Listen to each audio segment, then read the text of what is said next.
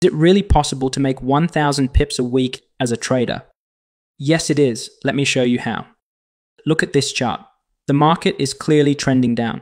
When the 8 simple moving average crosses above the 21 moving average, the market surges upward, potentially yielding around 800 pips if you enter after this crossover.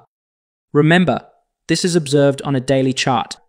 Similarly, in an upward trending market, when the 8 moving average crosses below the 21 moving average, the market tends to decline.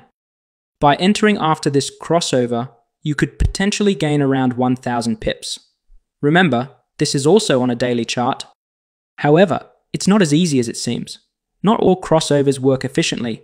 Take this chart for instance. Despite four crossovers, none were effective. Why? Because the market was in a range bound phase, where most crossovers fail. Yet the ones that do work during such phases can bring substantial profits. So, how do you discern which moving average crossover will work during a range bound market? Stay tuned for the next video, where I'll share how to precisely spot moving average crossovers that work best in range bound markets. If you want to learn more, download your ebook, the link is in the bio.